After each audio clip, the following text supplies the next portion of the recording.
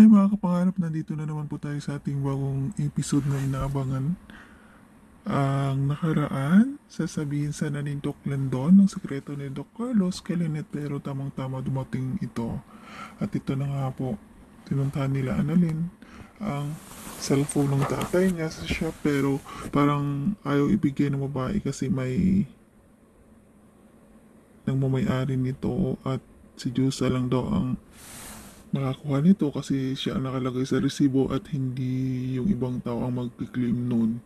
Sila Giselle at Lynette naman, si Zoe pa din ang pinag-usapan nila at doda sila dito sa sinabi niyang mag-apply daw doon. Sa stress, napag-isipan na nali na siya daw ang sasama sa bloodletting. Saman, samantala si Doc Lindon, pinuntahan ni Doc Carlos at kung yun lang daw si Emily din niya na magugusto na mga pinagagawa ni Doc Lindon at pinuya, pinayuhan niya ito.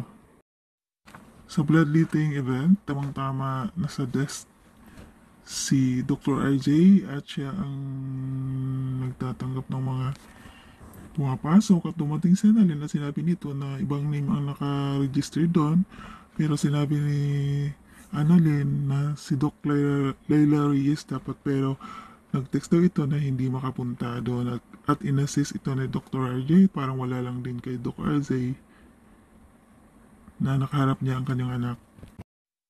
Samantala si Zoe, naiiyak na di mapakali at tumawag sa kay Dr. Carlos na magkita daw sila. Si Giselle at Lynette naman narinig si Doc Carlos na paalis daw at duda sila na si Zoe ang kikitain nito kaya't sinundan nila ito.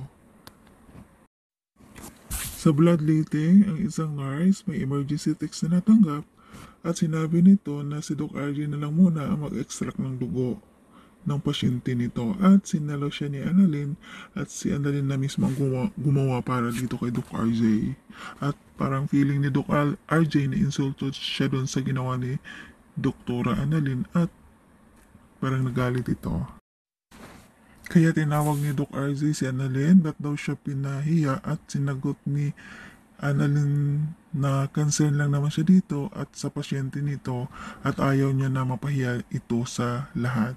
Panay pa din ang sunod ni Lynette at Giselle at antayin daw nila ang pagdating ni Zoe para malaman nila kung sino talaga ang kikitain ni Dr. Carlos. Abangan ang kapal na panabik na eksena sa mga susunod na kabanata guys. Please don't forget to like, subscribe, and press the bell button for you to notify my next video. Thank you so much. Mwah.